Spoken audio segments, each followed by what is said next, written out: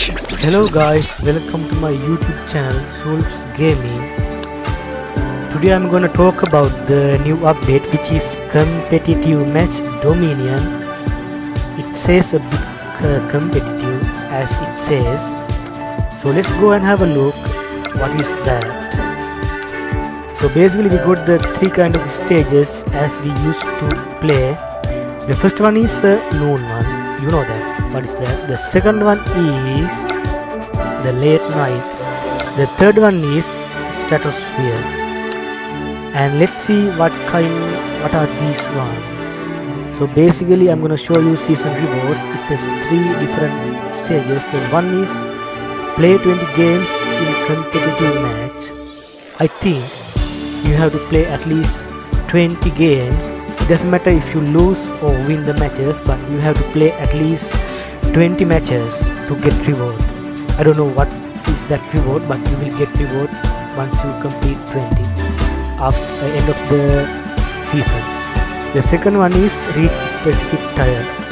So basically this one works start from a bronze tire, a silver tire and gold tire. After gold I don't know what is that. I need to play and have a look. So what are the tires after the gold? So basically each tire, I mean the silver, bronze, gold has three stages. So basically a bronze one got three stages. Start from bronze 3, bronze 2, bronze 1. So when you get up from the 3 to 2 any tire you need 100 points.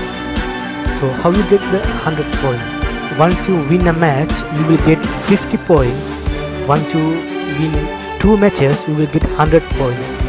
So basically you need to win two matches to get tired up. So each 100 points.